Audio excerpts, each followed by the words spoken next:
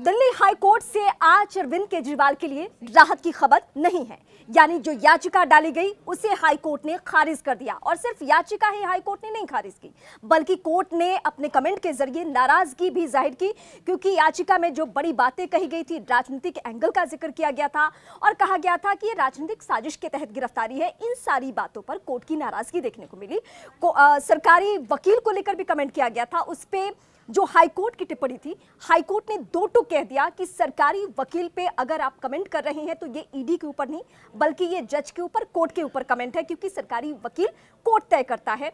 आ, इस मामले को खारिज करने के पीछे क्या क्या आधार रहा है वो भी इस वक्त हम आपको सिलसिलेवार तरीके से बताते हैं। जब ईडी ने गिरफ़्तार किया और जब 24 घंटे में जब पेश करना होता है गिरफ्तारी के बाद उस दौरान बड़ी बातें कही गई। साजिश करता बताया गया किंग पिन बताया गया अरविंद केजरीवाल को और जिन जिन चेहरों का नाम लिया गया, उनसे पहले ही पूछताछ हो चुकी है और उनके ओएसटी से लेकर और भी उनके पार्टी के जो तमाम प्रमुख चेहरे हैं, उनसे सिलसिला ये थमा नहीं है। आज जो कोर्ट ने बड़ी बातें कही है, इस याचिका को खारिज करते हुए उस याचिका में इस बात पर भी फोकस किया गया कि ये जो पूरा मामला है वो ईडी और केजरीवाल के बीच का है। इसमें कोई राजनीतिक एंगल नहीं है। कानून से ऊपर कोई नहीं है। चाहे वो किसी प्रदेश का सीएम ही क्यों ना हो। अगर सीएम के ऊपर भी कोई मनी लॉन्ड्रिंग का मामला होता है, भ्रष्टाचार का एंगल होता है तो उससे पूछताछ की जा सकती है। इन तमाम मामलों को एक्सप्लेन किया कोर्ट ने। हालाँकि ऐसा नहीं है कि पहली बार ऐसा करना पड़ा है कोर्ट को। अलग अलग राजनेताओं की तरफ़ से जब याचिका जाती है तो कोर्ट को ये बार बार दोहराना पड़ता है। कि सबसे ऊपर कानून है, ये देश कानून से चलता है और कानून के दायरे में हर कोई आता है। इस देश का हर नागरिक, चाहे वो किसी उच्च पद पे बैठा हो या फिर सामान्य नागरिक हो।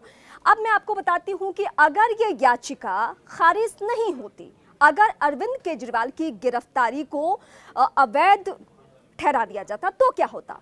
अरविंद केजरीवाल रिहा हो सकते थे, इसीलिए इस याचिका को डाली गई थी। अब इसके लिए क्या सूरत बनती है, मैं वो भी बता देती हूँ, क्योंकि अरविंद केजरीवाल की टीम, उनके वकीलों की फौज, क्यों इस याचिका को लेकर गई थी और सीधे गिरफ्तारी को चुनौती क्यों दी गई थी?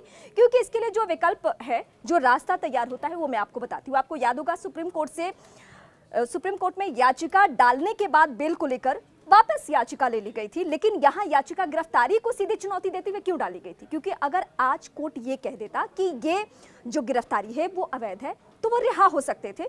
इस बीच अगर सुप्रीम कोर्ट से स्टे ईडी की टीम ले लेती तो ये रिहाई मुश्किल थी। नहीं तो ये आसानी से रिहा हो सकते थे अरविंद केजरीवाल, इसीलिए उनके वकीलों की फौज ने ये प्लान भी तैयार किया गया था।